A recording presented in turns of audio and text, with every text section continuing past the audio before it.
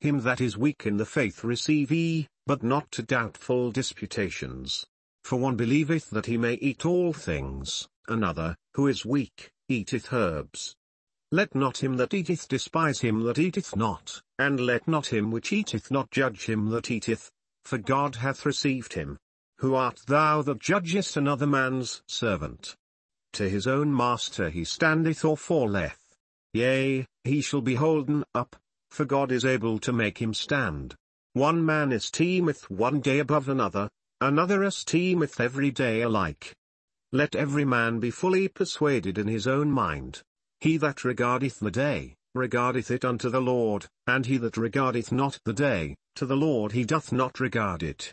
He that eateth, eateth to the Lord, for he giveth God thanks, and he that eateth not, to the Lord he eateth not, and giveth God thanks.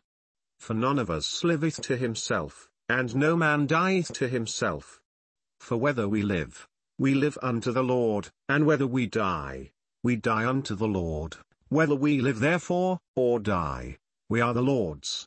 For to this end Christ both died, and rose, and revived, that he might be Lord both of the dead and living. But why dost thou judge thy brother?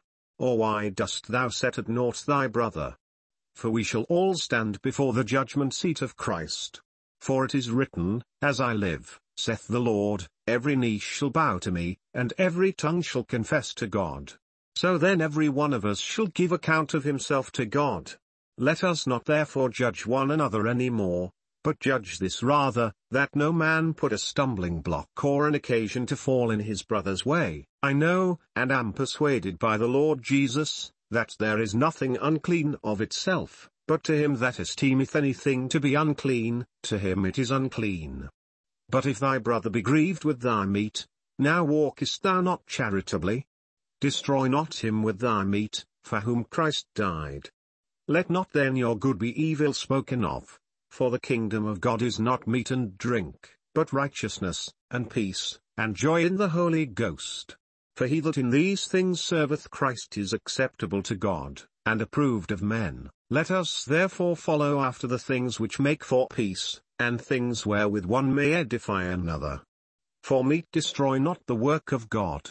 All things indeed are pure, but it is evil for that man who eateth with offence. It is good neither to eat flesh, nor to drink wine, nor anything whereby thy brother stumbleth, or is offended, or is made weak. Hast thou faith? Have it to thyself before God. Happy is he that condemneth not himself in that thing which he alloweth. And he that doubteth is damned if he eat, because he eateth not of faith, for whatsoever is not of faith is sin.